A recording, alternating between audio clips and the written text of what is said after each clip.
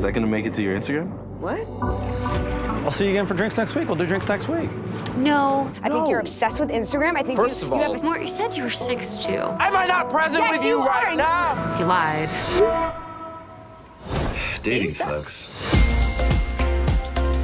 Cheers to being single. What? Sorry. I'll just be single forever. It's, New York. Acknowledging that we both want all the benefits of a relationship without the torture of actually being in one. I have come up with this little gem. You guys are friends with benefits? This is going to end poorly for you. It's gonna work out. We could be each other's guides. I could teach you how to not be ghosted. I don't get Wow. ghosted. I ghost. Can you guys go on dates with other people? Duh. Duh. That's the whole point. Yeah, makes sense, right? You could use help not dating douchebags. One more thing. The words I love you cannot be used in an affectionate way. Important question. What happens when one of you catches feelings? Uh, you mean if one of us catches feelings? Yeah. Yeah, if. Whenever two people start sleeping together, it gets complicated.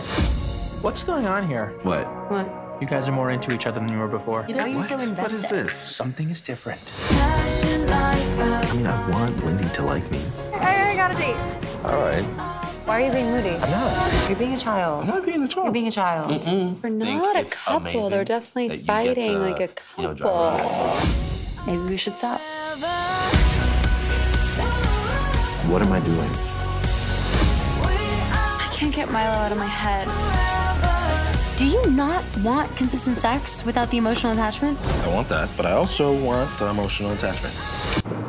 Only in New York could you make out in front of a bunch of garbage and it's still romantic. What if we became boyfriend and girlfriend? Why would I pick a flavor and just go with that flavor when I could try all the flavors? Because then you never really get to experience just one good flavor. What are you guys really talking about?